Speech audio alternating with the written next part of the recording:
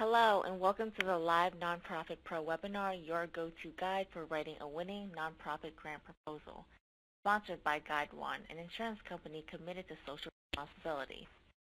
My name is Nhu Te, Editor-in-Chief of Nonprofit Pro, and I'll be moderating today's event. There are a number of reasons why nonprofits apply for grants, but doing the research and finding which grants to apply for can be mind-numbing. On top of that, sitting down to write a grant proposal can be confusing and tedious. Grant writing doesn't have to be as intimidating as it sounds. In today's webinar, our speakers will share why your nonprofit should apply for a grant, what the process looks like, and what resources your nonprofit needs to prepare for the process, top tips and strategies to writing a winning grant. Emily Bratton is the Director of Grant Development at Hackensack University Medical Center Foundation, and she will be joined by Craig Shelley, Managing Director of Orr Associates. I can't wait to hear what our speakers have to say. Before we get started, let's take a second to point out the tips for attendees widget on your console. It's the blue one with the wrench on it. If you missed the tech tips video we played leading up to the webinar, you can always click this widget for more information. Also, we will have a Q&A at the end of the webinar. You can answer your questions for that at any time using the Q&A box in console. And without further ado, Emily and Craig, please go ahead. Wonderful. Um, first of all, a big thank you to Nonprofit Pro for hosting and to GuideOne Insurance for sponsoring this webinar where Craig and I will impart some of our hard-won wisdom about grants. You'll find that a lot of what we'll talk about deals more with your organization's preparation and vision than the actual proposal. Having a solid proposal is, of course, extremely important, but that's just the tip of the grant's iceberg, and having a good program and strong vision is paramount. It's fairly easily to, easy to find information online about the specific parts of an application and what should be included in the various proposal sections. So I'm going to keep the very literal details on what to include in a proposal to a minimum and focus on more global concepts and tips, tricks, and guidance regarding writing and grant development, which I think will be more interesting and relevant given our limited time with you today. Um, and just to be clear, we are not covering government grants specifically today. So um, let's dig in. Um, first and foremost, the grant process should begin long before the funding opportunity or application is released. So you need to be grant ready. And let's talk about what that means. To this point, I will say, and I can't say this enough because I think just about everything else hinges on this, to thine own mission be true. Only you and your leadership know if this funding will truly advance your mission. Even if you can do something because there's an opportunity for grant funding, should you? How far are you willing to stretch your mission for funding? You may get the funding, but at what cost in creeping mission drift? If you take a throw it all against the wall and see what sticks approach, you're not thinking a productive way, you're not going to get a lot of grants, and you're going to have a mess of a program with some areas underfunded and other gaps.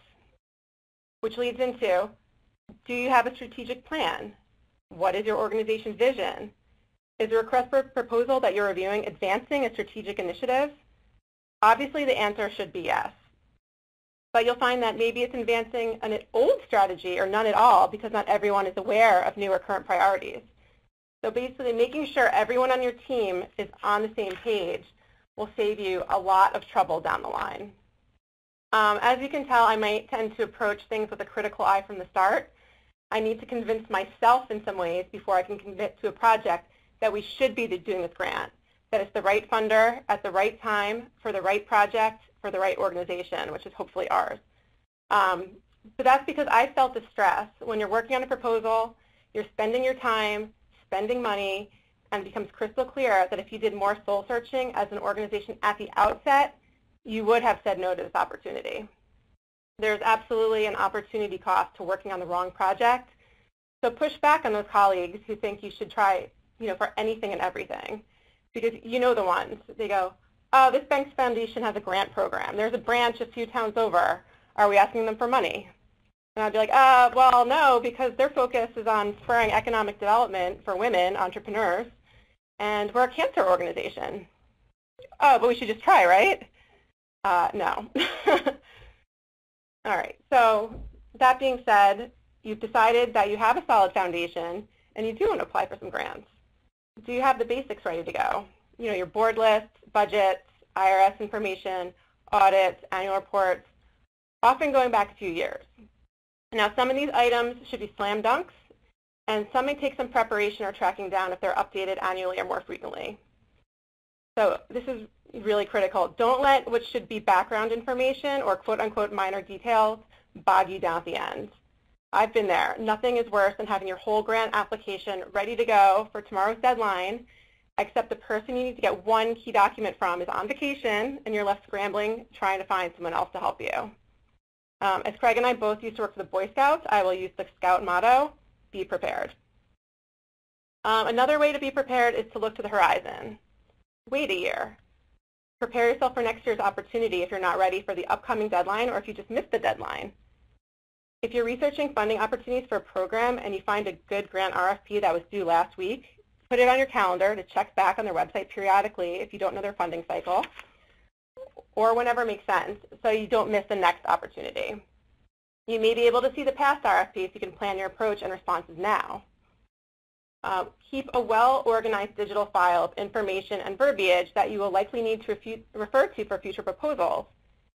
Don't waste your time reinventing the wheel, and it really helps for consistency. Um, grant readiness checklists are easily found online. Tools like these can be helpful because they are objective, and sometimes having an outside document showing your strengths and weaknesses can be more powerful than the inside grant writer talking ad nauseum about what needs to be done, how your financial controls need to be improved, etc. It's amazing how powerful documents written by outside experts can be. They just somehow hold more weight and credibility sometimes. Also, be real realistic about your infrastructure, ability to scale programs, staffing, resources, and sustainability. You probably shouldn't be going for the million dollar grant when your entire operating budget is $250,000. And lastly, you don't work in a vacuum. Get your team of allies and experts lined up and delegate, delegate, delegate. Different people on your team may have widely differing expectations of what the grant writer does. So you need to set your expectations and their expectations as well as your boundaries and your needs up front. So that could mean making a calendar of who's doing what and really sticking to it. All right, I'll move on. Craig, you want to take this? Yeah, sure. And I just uh, reiterate or emphasize a few points that Emily made there. I mean, I think the uh, super, super important not to chase things that are unrealistic. Um, I can vividly remember numerous times I'm sure I encouraged Emily to chase things that were unrealistic. So um, she's very right there because that wasted a lot of both of our times. Uh, so yeah, I mean, be, be realistic what you're going after. And then also in terms of the being ready thing, one thing that I always found very helpful when I was doing this type of work um, exclusively was, you know, the beginning of the year, I had a pretty good sense of the five, six, ten things I was going to be writing grants for over the course of that year. Um, so I'd start up the templates right then. I'd spend, you know, two weeks in January just sort of locked away writing templates for, for things. And you would adjust them as the, as the year went on. You'd customize them for the right foundations we added more initiatives, you know, things like that as the year went. But it helped me to just sort of dedicate some time right from the outset um, to get some really good templates built. And also very specifically to know that I was going to do that at the beginning of every year. Because to be honest with you, it prevented me from falling back on language used a year ago, two years ago, three years ago. Like I would start with a blank page every year um, and build it out accordingly. So that's um, just sort of my uh, additions to Emily's points on being grant ready. Um, in terms of research, research, research, Yes, um, we should maybe add a fourth research. Um, I would uh, admit that uh, I am old enough to uh, to, to, recall um, when I had go to these big books uh, to do research on foundations. Um, the foundation directory online, many of you have probably heard of the Foundation Center. Um, that was a physical place, um, still is, uh, and I used to have to go there and look at the books. Uh, and then there was this huge innovation and we had the CD-ROM shipped to us every year, and I was able to look at these CDs and, and do the research right there. Um, but now, um, thankfully, you guys can, can, can, can, we can all do this way easier and have a lot more information at our fingertips. So yeah, I'm old, but I am not like how to walk to school in the snow uphill old. I'm just old enough that I remember having to do this in books. But um, a couple of really good tricks here that I like. Um, you know, look at who's funding other nonprofits. I mean, the thing I always spend time with when I'm trying to find new funders for an organization is I look at what I would call comparable orgs. Um, some that are sort of mission mission aligned and that are you know doing the same thing that I'm doing in the same size, but also some that are more aspirational, right? We all know that organization around the corner, down the block, across town that has all the donors we want. Um, so I'll typically pick three, four, five organizations that sort of fit a criteria um, where I think their donors should be my donors. The foundations that fund them should be funding me. Um, I'll very specifically go through and research and figure out, um, lay it out in a, in a pivot table in Excel and, and really just look through and say which foundations are, are, are funding multiples of those, right? So if you're, if you're funding two, you're funding three, you're funding four, uh, and you're not funding me, that goes right to the top of my list. So I think that's a great way to do research. Um, foundations increasingly, you know, they're trying to flood a particular issue area. They're trying to, to, to push systems change, right? So they're not just going to fund, you know, they care about healthcare, they're not going to just fund the hospital where everybody works. They're going to fund the entire health system in that community. So, you know, if you can align and see who's funding um, your similar orgs, that, that's a great place to start and go after them. You know, look at the 990s, yeah, definitely, you know, that all that stuff's out there. You want to look at that. Um, to me, the next point, really creating relationship maps. Uh, we'll talk a little bit about this later on. But at the end of the day, like there's a lot more paperwork in raising foundation grants than there is in, say, high net worth individual major gifts.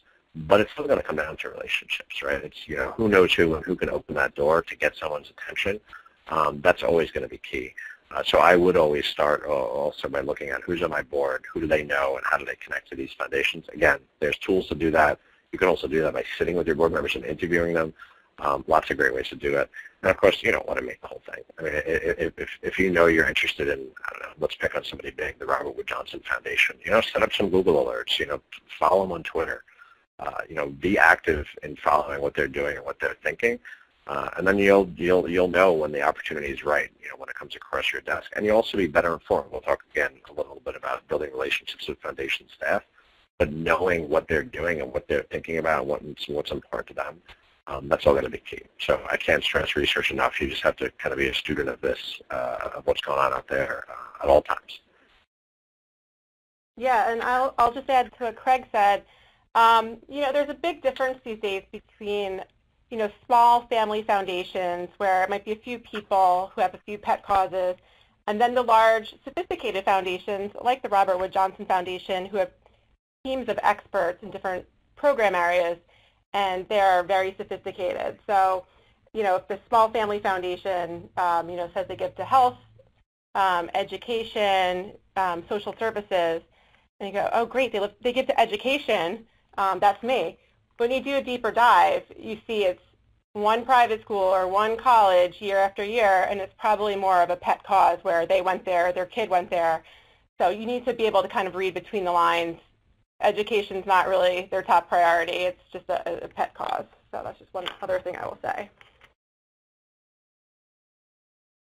All right. Okay. Um, focus on the process, not the outcome. This is really hard for me because, you know, if you're judged on the dollars you're bringing in, you're judged on an outcome that is sometimes out of your hands. But if you focus on the process and doing things the right way, you're much more likely to have a better outcome. So have some integrity as a professional and as an organization. It's kind of like if you build it, they will come. The application is just the very smallest part of this whole process, that tip of the iceberg that I mentioned earlier. You know when you're taking a short, shortcut to achieve a short-term need, which in this case would be getting the grant out the door, versus doing the real behind-the-scenes work that needs to be done to make the, a program attractive and fundable. If you're only focusing on getting the grant out the door, you're not likely to get that grant. Sometimes the application sections, like logic models, that make you groan are actually really insightful tools that can help shape your program in a meaningful way if you embrace them. Um, so the app can be your map in a way. Um, but don't let yourself become the only team member becoming enlightened by this process you know, a logic model or sustainability plan or SWOT analysis, you know, strengths, weaknesses, opportunities, and threats should not just be an exercise on paper to get the application completed. It should be informed by a team-based approach of stakeholders in your program or organization and something used for self-reflection and program guidance. Um, and as a grants person, like you wear a lot of hats. You're the synthesizer, synthesizer, the big thinker, the wordsmith, and in many ways, you are at the heart, or the heart of the organization, and you really connect internal and external teams of partners. So you can suggest, cajole, inform, and inspire, but you should not be developing your organization's programs or deciding what direction they should take. You should, however, manage up and educate your leaders about what you need to be doing as an organization to make yourself grant worthy. Likewise, the grant writer can actually make a program sound better than it really is. And you may be like, yeah, that's what we need. but don't be fooled, this is very dangerous when reality, aka program delivery and reporting, set in. The program experts cannot expect you to whip up a fairy tale. I'll never forget when I needed some information for proposal and one of the program leaders, a very nice guy by the way, and Craig, I'll tell you who it is later, um, said to me point blank, next time you want to ask me for something, don't. This was such a demoralizing moment as a young grant writer because it said to me that even our program leaders didn't get it.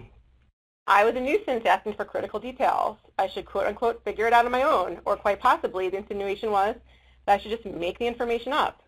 This is a very bad thing. Proposals should put you in the best light, but also be reality-based. Furthermore, funders can tell when you're chasing the money. In some cases, they've had your job before. They know all the tricks, and they can see right through you. They may come back to you with very specific pointed questions to break through the BS or vagueness you're sending their way, but sometimes they actually just genuinely want more details, which is a good thing, as they're actually reading your proposal carefully enough to ask questions. Um, but you know what? Losing a grant can actually be a really great tool for improving your approach in the future too. Talk to your team. Why did we lose? What can we do differently? What, what didn't come through on paper? Um, and lastly, grants can help make or break your credibility. Take the time to be honest with yourself and funders while playing with your strengths, tying your organization's programs to greater societal and funder needs, and adjusting the angles for different funder priorities. Your program can wear different hats with integrity. But if you don't follow through on your grant, don't carry out the activities you said you're going to, don't spend the money the right way or in a timely manner, don't provide the measurement data that you promised, you're, you're just going to give yourself a really bad reputation. Um, and I've heard it said that bad data is better than no data. You can think about whether you agree with that or not, but think about this too. If a funder awards grants for two different organizations, and one's program is mediocre, but they actually measured what they were doing and kept data on it, that's probably more powerful than the other program, which in many ways was awesome and possibly a better program, but they weren't keeping good track of their activities or outcomes. Data is tangible. Data tells a story. It's something a program officer can bring to their board. Even if your numbers aren't exactly where you wanted them to be at the end of your grant, it still opens the door for a conversation internally and with the funder. It can show what you need help with on your next round of funding or for the next round of program delivery. It's authentic. And I would say too, in terms of the you know focusing on the well, one I, I would say Emily, I think I've narrowed down to two people who told you to, to buzz off when you asked them for information. So I can't wait to find out if I was right later. Um, but uh, you know, like the whole idea of right, like it's out of your hands. Um, it is, and I, and I hate to say that, right? Like I, I'm like most fundraisers have this belief like you can bend reality to you know what you want it to be, um, and I'm com- have at times completely unrealistic in my career, probably including with Emily, saying you know of course you should be able to get this and you know figure out how to do it, and you know you can control if they say yes or no. You can't, um, but you can, as Emily describes, control the process, right? You can do all the right things, and then still you know 50, 60 percent of the time, you're going to hear no. Um, you know, we're fundraisers. That's what happens. We hear no a lot more than we hear yes. But you know, the more you control the process, the, the, the better the outcomes will ultimately be. And the only other thing I'll say about data is, too, like, some some things, some places your hands are just are just tied, right? And they're, they're very um, prescriptive about how about what they want you to measure, um, and that's you know, there's no ifs ands or buts about it. But you know, often we have the opportunity to define success, right? Like, so if you tell them that success is, you know, 20 widgets became, I don't know, fidgets, you know, then that's what they expect you to do. Um, so I, I, think you have the opportunity up front to decide how you're going to measure success and be very clear about that. Um, so you do, you know, that that is more in your control, I think, than, than often sometimes people think. A lot of people get get really sort of hung up in that, um, but I think you can you can control it. Yeah, and um, when Craig and I worked together, it was a long time ago. It was over 10 years ago when a lot more of our proposals were actually hard copies going out in the mail. But even though we can't control the outcome, I still do something when I am mailing a paper proposal that Craig taught me. I, I give it a kiss for good luck before it goes in the mailbox. I think that's key. That that that, that Yeah, makes all the difference. Yep. And plus, you get paper, right. and you get paper cuts on your lip. But other than that, it's a good, it's a good All right, matchmaker, matchmaker, make me a grant. Okay, repeat after me. A grant is not a gift. A grant is not free money. A grant means more work. If you want money with fewer strings attached, potentially, look to your loyal individual donors or smaller family foundations where the grants are more like traditional donations than grants tied to activities outcomes.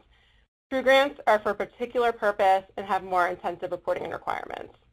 So ask yourself, do we, you know, if we receive this award, will we be excited or panicked? Do we really want this grant? Are we willing to do the work and do it well? What is the opportunity cost in terms of time, money, staffing, etc.? Some grants just are not worth the money. Be careful what you wish for.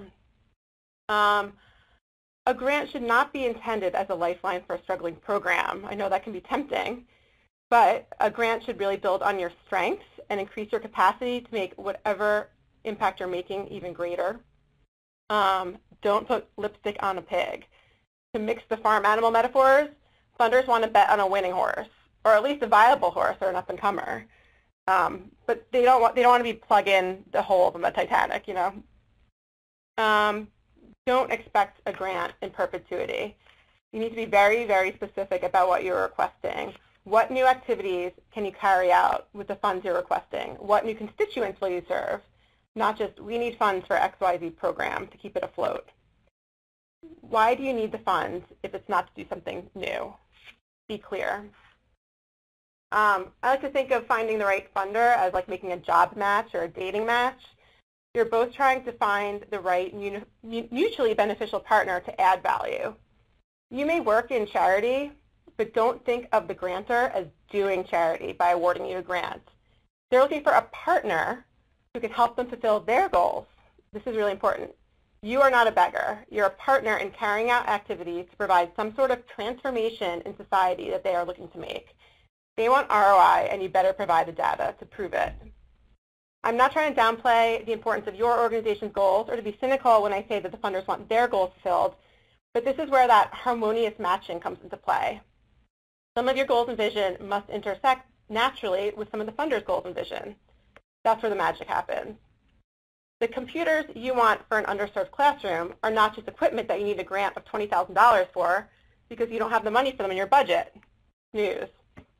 They are tools that will help level the playing field in education and foster creativity and promote STEM and pave the way for career readiness. That's what you're selling if you can back it up, not computers.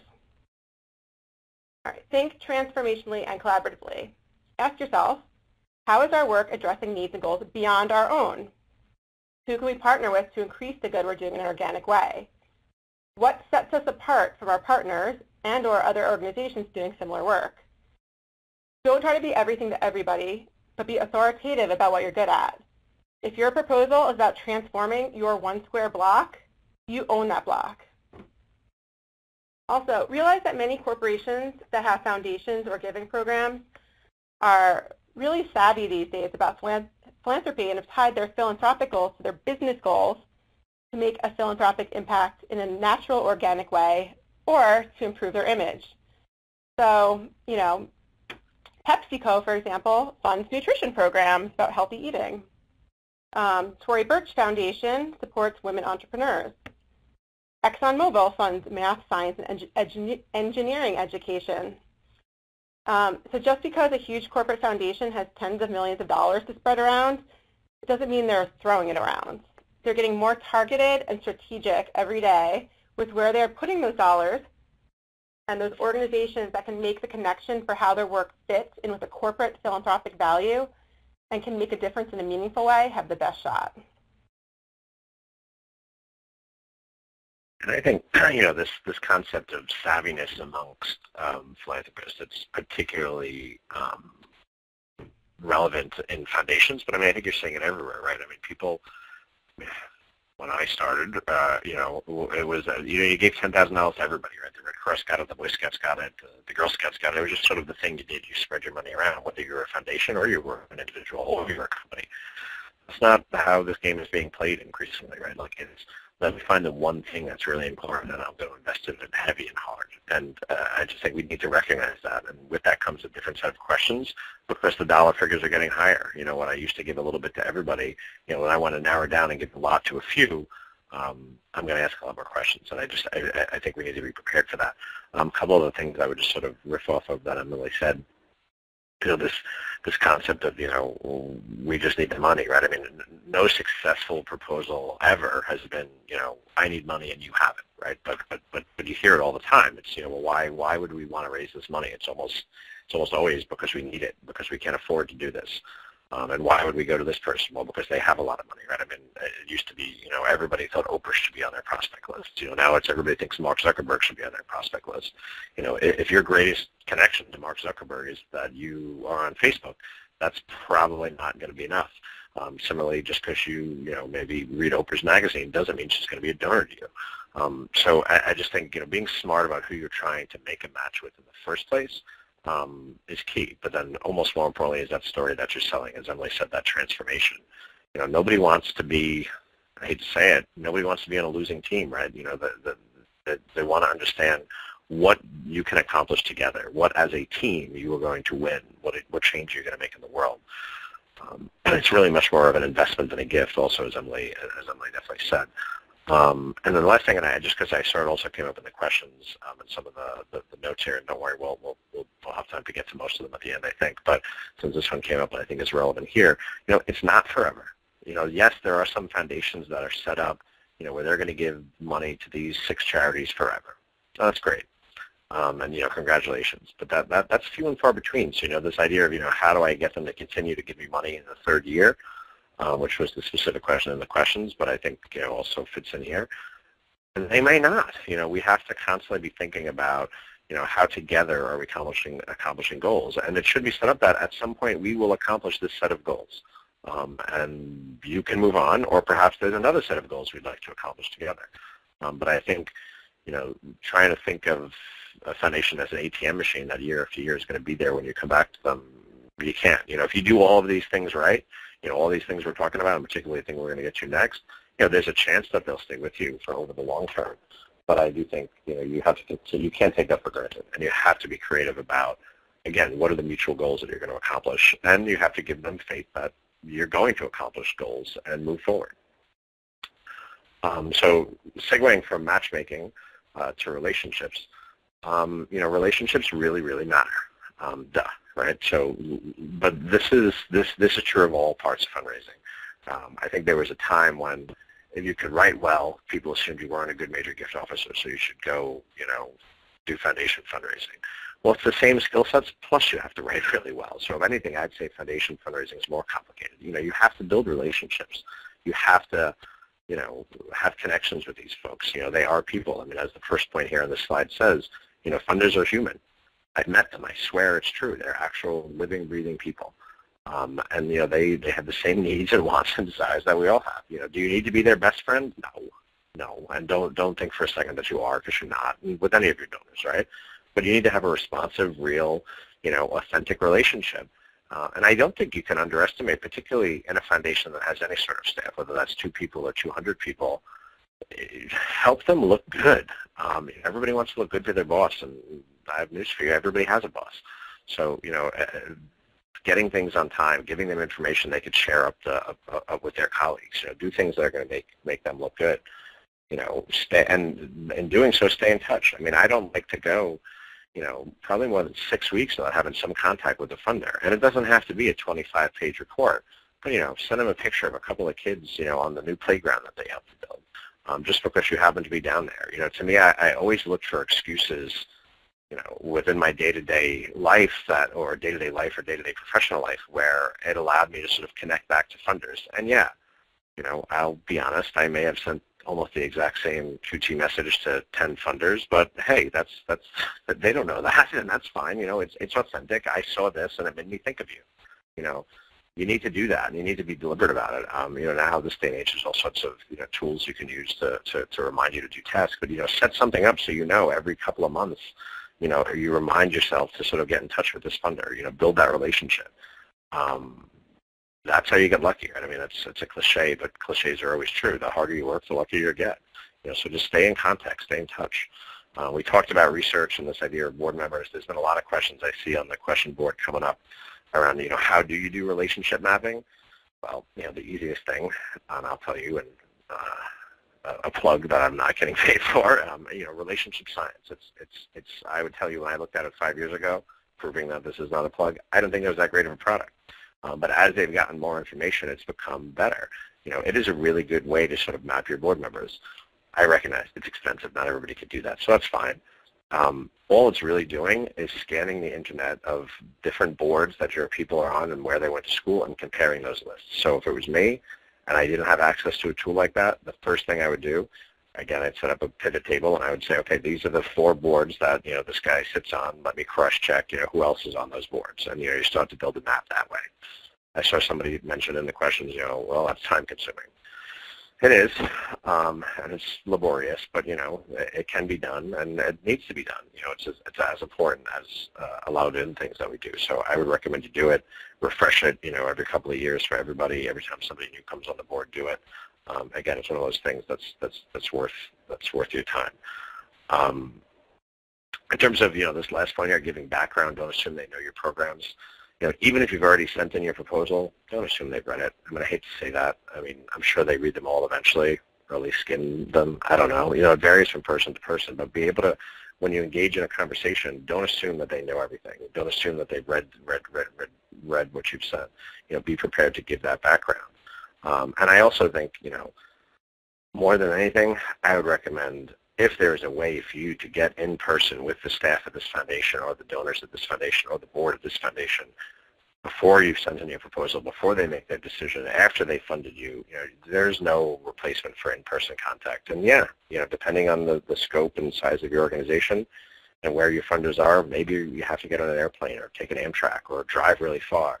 Um, but that's time well spent, and it's an investment I think you have to make. Um, once you have a face-to-face connection, you know, there's still nothing that that, that beats that. Um, so yeah, so relationships matter. They matter a lot. Yeah, I absolutely, and I try not to think of the funder as the great Oz behind the screen who you know is untouchable. You know, um, I think any any connection you can make, um, you know, you know, you do your research and there's an organization they fund and you have some connection with them, even if you pick up the phone and you're trying to, you know, create an entree in the conversation, if you can mention some kind of common connection, it makes you seem like you're already part of their community or circle, and they might just feel a little bit more warmly about you, or just, oh yeah, not some complete cold call. Um, all right, we're going to move on to follow directions.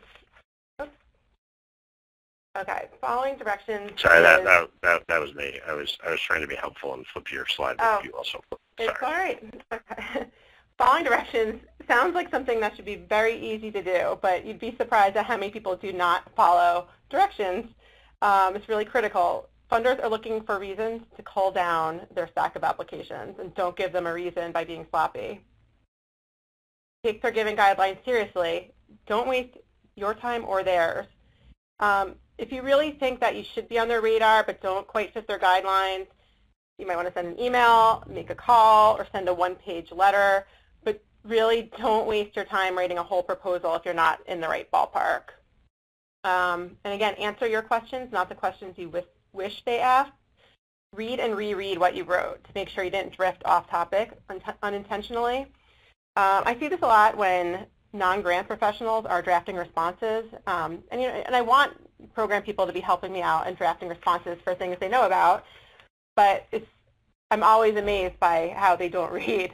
They know their program, they don't directly answer the questions asked. So it's your job to keep them on track. They'll hate you now because like you're such a, stickler for it, but they'll thank you later because um, if, if you don't nudge them into compliance, you're not getting funded.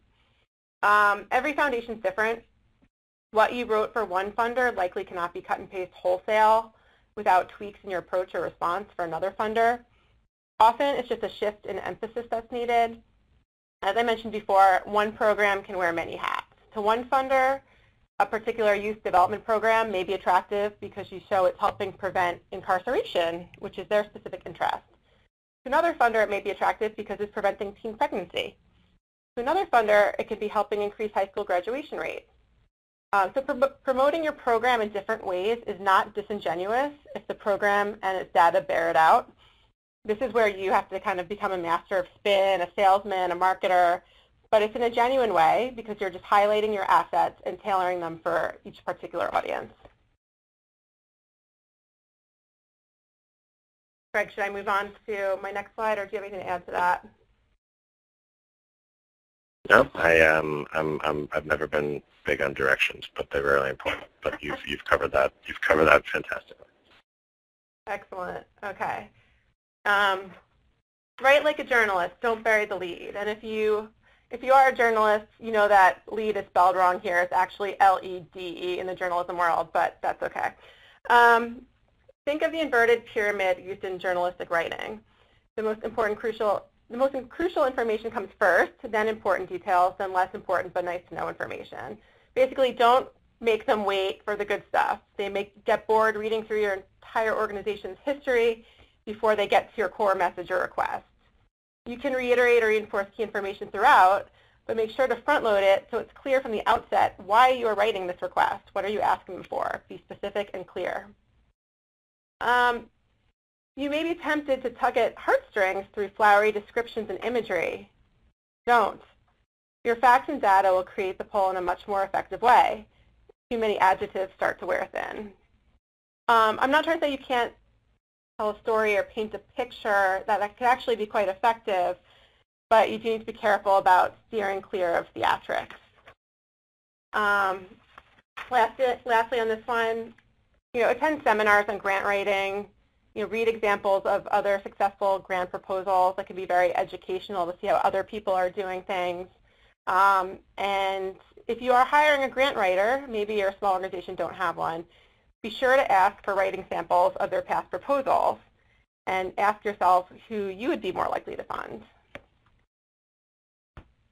And I mean, to know Emily is to not be at all surprised that she corrected a, uh, a typo in her own slides um, or, or, or, an error. But anyway, that's um, I, I, and it's funny. I didn't think about this until um, Emily came up with this slide, and I think it's 100% valid. But I never really thought about it. I would bet you if I thought back through the most successful grant writers I've worked with, which Emily is definitely one, um, they have a journalism background or they studied journalism, and I was a journalism major. Uh, yeah, I just it, I think there is something to this whole concept of, you know, think about it that way um, and, you know, get to the facts, open up with them, you know, make sure everybody knows what's going on, support it with data. Um, that, that style of writing, I think, is, is very transferable to, uh, to grant writing. Um, and I'm embarrassed I hadn't made that connection before, but, it, but, but it's certainly a good one. The next, uh, the next slide, um, don't wait till the last minute, right? I mean, it's pretty self-explanatory. I'm a like born procrastinator. Um, don't tell my clients that. Um, but like I, I really, I, I, will put things off as, as much as, as as much as I can. So like what I used to do is I would trick myself. Um, I mean, there's a point here about setting Outlook calendar items. I'm a big fan of that. Like whatever it says on my calendar I'm supposed to do, I do. Um, and I would trick myself. Like I, I would, without the deadlines for things, I'd stick it in. It'd be funny. I'd be there putting the final, final touches on something and be like, all right, I'm going to get this out right on the deadline and I would do like one last double check uh, against the headlines, you know, on their website or whatever to make sure I hadn't missed anything. And I would notice that like the deadline was like two weeks from now, and I realized, well, because you know, past Craig did future Craig a favor by pretending on his calendar like it was due earlier, right? So I, I feel free to play those types of games and, and trick yourself. But you know, you have to come back to your writing again and again and again, which, you know, I said earlier, one of the things I like to do is write a lot of templates and sort of stock language I know I'm going to need for the year at the beginning of the year, because every time you look at it, you will make it better. So whether that's a one-off proposal that you wrote specific for this, you know, put it aside and come back to it in a few days, you'll make it better. Or again, if you have the opportunity to use some language again and again, every time you use it, you'll improve it.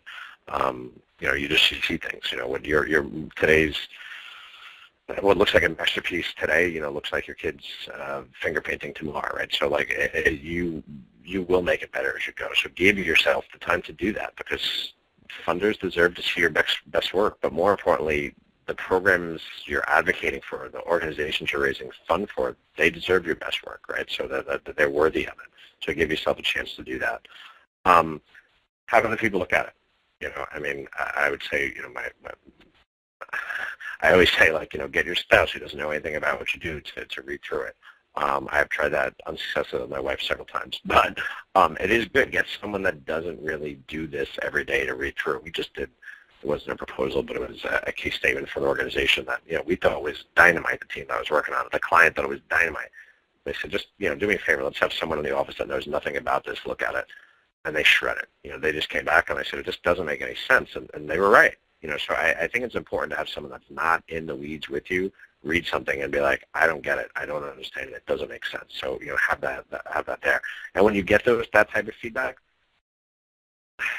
you know, it, it, it, get rid of your ego. I mean, I, I I like to write. I would tell you that I think I'm a really good writer.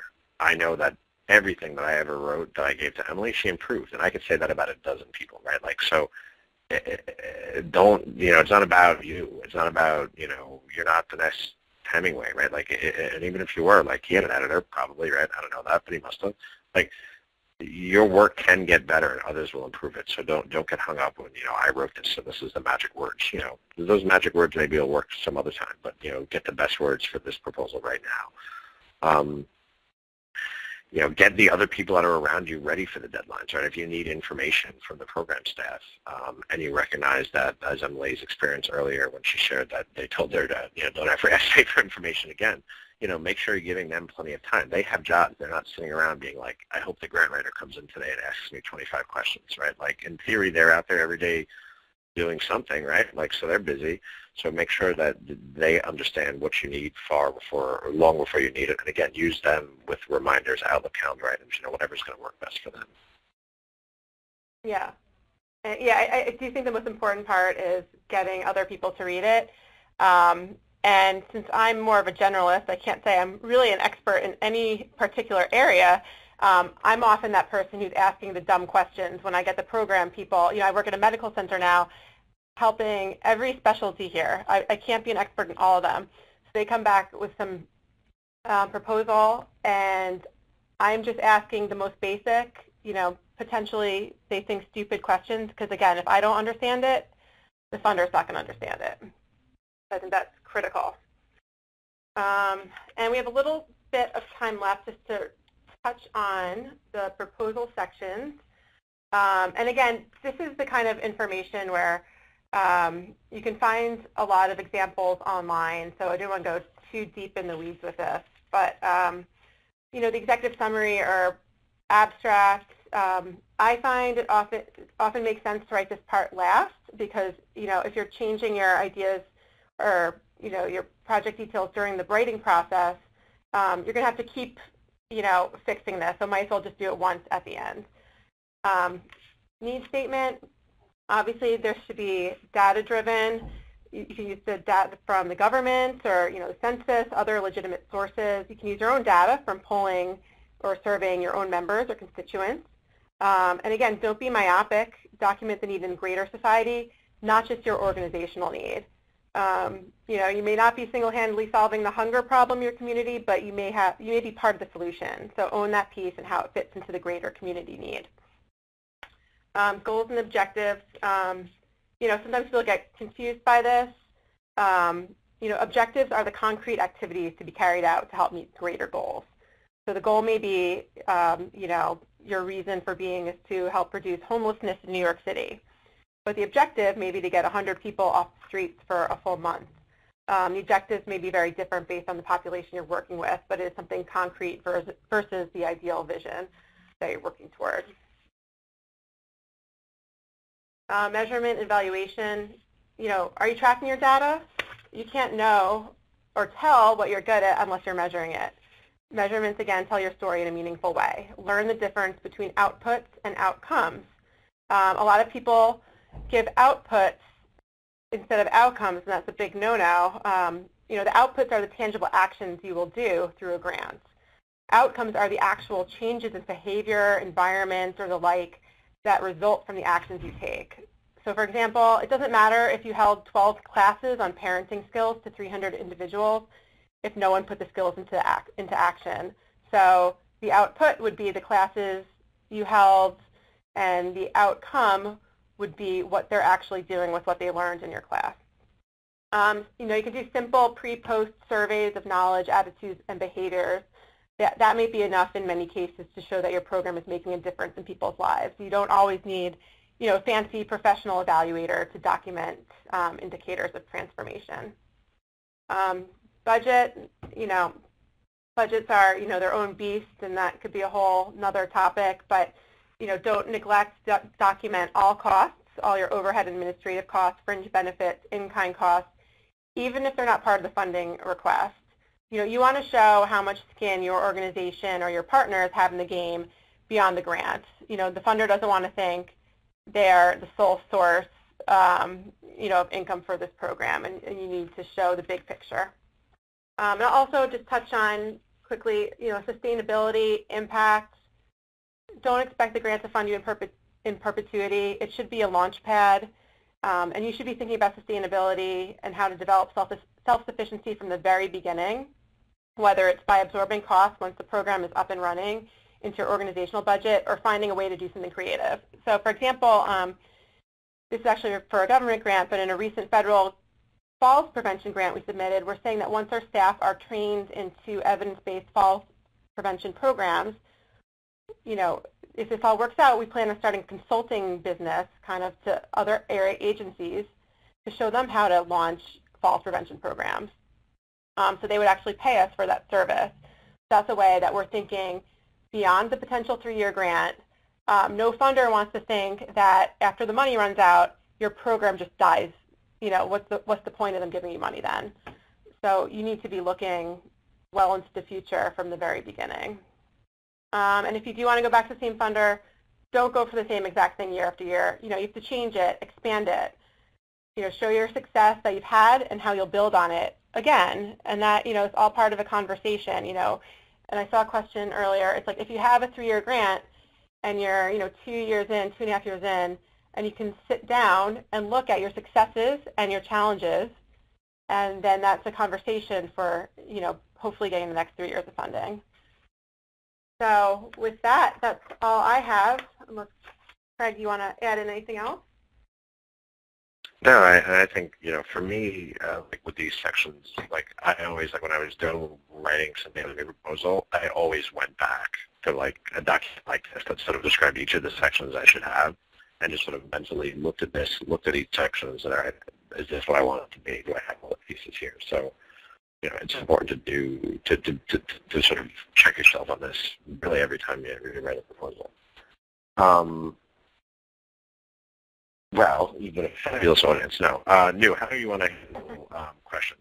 I mean, I could we can see them. We could try and answer that way. You want to pick them? How do you want to how do you want to do that? Um, you probably I explained have- this in advance, and I didn't listen. Sorry. um, I have a list here, and I'm just gonna get started if that's okay with you two. You guys ready? Sure. Go. Excellent. All right, so um, the first question is, please address how well-established endowed nonprofits can still make their points with smaller grant requests that funding is critical to fill programs. That's a challenge, right? I mean, typically. Hello. Go ahead, yeah. Oh, I would say that that's that's a challenge. I mean, I, I've typically seen like, you know, that's a sign of financial strength. It's a sign we manage money well. It's a sign we're a winning team. You know, like, and that's great. But I, like two weeks ago, so I somebody get turned down, and the exact answer was, I looked at the financials. They're really strong. You have a huge endowment. I could just see that there are other people that need my money more. Um, so I, I think part of it is facing into it and sort of defining why you have that. Um, you know, why are you well endowed? Why do you have a lot of money? And, you know, again, stressing it's because we manage our money well, because what we do is important, because we're going to be here forever. You know, that there's some, some, some real critical ways to address that or obvious ways to address that. Um, so I think you have to don't hide from it because they're going to figure it out.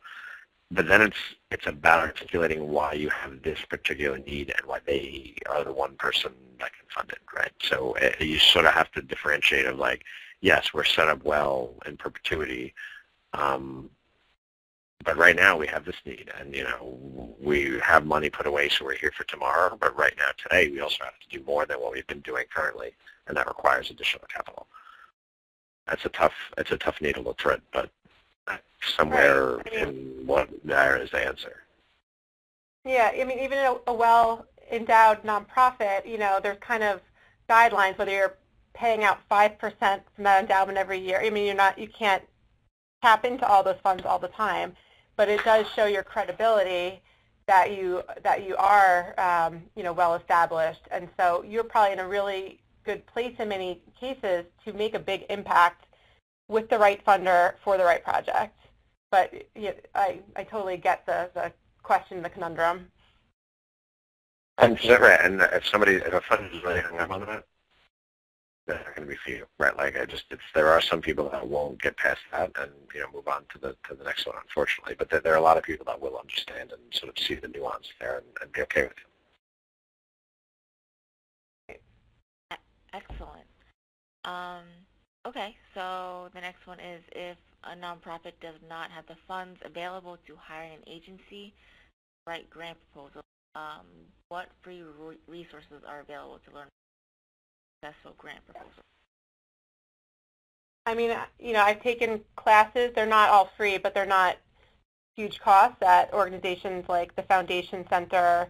Um, you know, you, you, can join organizations like, you know, the Grant Professionals Association, um, which is national, and you join their lo local chapter, talk to other people in your area. You can kind of learn from peers, um, and even if, you know, you don't have a full-time grant person on your staff, you know, you can kind of cobble it together by, you know, joining these groups and they get daily or weekly email digests of questions from other members and it's very collaborative. So that's something I would suggest. You can participate in webinars like this. No, um, mm-hmm. yeah, uh, you don't need to have it. You don't need to have a dedicated grant writer, and that's not right for every organization. Um, as Emily said, you know, we'll tell you that this is, you know, a highly tuned skill set, and you know, you have to be a real expert. The reality is, you know, it's not brain surgery. You can figure it out. You know, there's enough resources out there that, you know, some program people can work on it on the side if you need. But set your expectations realistically, right? Like they're not going to suddenly bring in $10 million in new grants, you know, if it's, you know, they're doing it off the corner of their desk when they have an extra 20 minutes on Saturday morning, right? So you are going to sacrifice by not being able to invest in it that's everything, right? There's no free money out there, but you, you might be okay with that trade-off. You know, you're going to miss some opportunities, but you know, as long as if you're okay with capturing just a handful, um, there are ways to become a quote-unquote, you know, grant writer without being a quote-unquote grant writer. Right. Great. That's um. Um, so many nonprofits, particularly in high-need areas, are dependent on philanthropy, but not all programs can be sustainable with other sources of revenue. The question is, how do you navigate the sustainability question with funders in reality the program plan donation? Yeah, that always used to drive me crazy, right? How are you going to be financially sustainable? I'm like, well, somehow next year I'm going to convince you to give me this money again. Um, and, and it's a tough, I'm biased, right? This is the shoemaker selling you shoes. You know, I think it's okay for some things to depend on philanthropy forever. Unfortunately, I'm minority viewpoint. Um, so yeah, people are more interested than ever before. Like, what is your financial model, or how are you going to, you know, develop an earned revenue stream? And and you're right. Some things it's always going to be dependent on philanthropy, but maybe it's not always going to be dependent on that person's philanthropy, right? Like, there's a way to position of like, you can help us grow this program to a point where it has you know consensus support amongst many funders, um, or it has consensus support within our organization that is absorbed within our larger budget. So you know again, it's still dependent on philanthropy, but it's not dependent on specifically people earmarking funds for it. It's now part of our budget. So as we raise you know general support, you know this is included. It's it's seen as that kind of priority. So I think that's probably the right answer to that question, but I agree. It's, it's a really frustrating one because um, you know, some things are always going to depend on philanthropy. And I'll tell you the flip side. I've seen organizations do really well in building models of, you know, this is how we're going to earn revenue and how we'll be able to decrease our philanthropy over time. And then you want to know what I also saw happen? Because it, it never brought philanthropy to zero, right? It was we, we can decrease the philanthropy by having these other revenue streams. the philanthropists, what they heard was you don't need me anymore, you don't like me anymore, you know, where's sort of the dirty money that you don't want to take anymore. So after pushing for years to come up with a model that would make us not dependent on your money, on, you know, I forget who's us and you're in this, but, you know, of we don't want to have, we don't want you to be dependent on us forever. They finally come up with a model that answered that question. and it really turned off the philanthropist because it made them feel like you don't need me anymore. So it's a tough situation. I mean, I think philanthropy is a beautiful thing and it should continue forever. But um, probably the figuring out how this thing gets to the point that it's absorbed within your budget is the answer to that question. Yeah, and I would say like when you start, you know, singing, you know, your stories, praises from the rooftops and getting other stakeholders to tell your story for you, you know, you're not, if your program's in a high need area, you're probably not doing it on your own. You probably have other partner organizations that are supporting this. And um, when it comes more like embedded in the community, um, it'd be really hard to get rid of a program like that if it, if it really is fulfilling a need. So make sure that you and your partners are telling each other stories and how you're working together as well. Excellent. Um, so can you guys talk a little bit more about creating a relationship map? How can busy fundraisers execute this in the most efficient and effective way? Yeah, and as mentioned earlier, you know, so relationship science is the is probably the best tool for this that I've seen. So if you can go buy that, I would buy that.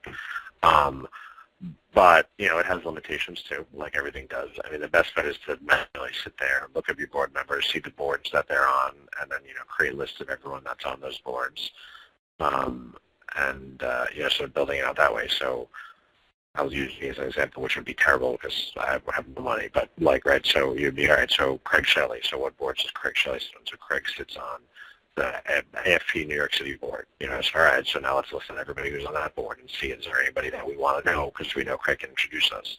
Craig's on the advisory board for Nonprofit Pro. Let's see, you know, is there anybody there that, that, that we know that he wants, that we, that he knows that we want to connect to. So it can be laborious, but it's time well spent. Um, or you know, relationship science more or less does it for you.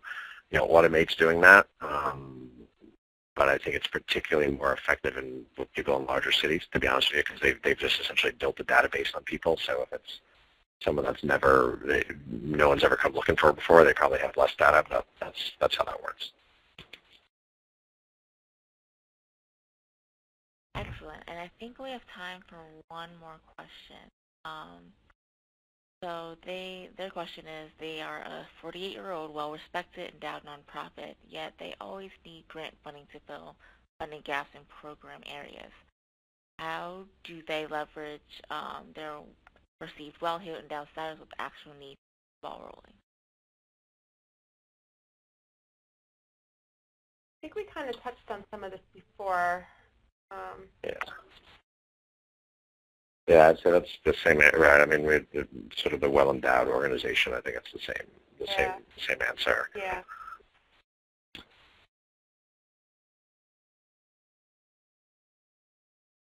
Okay.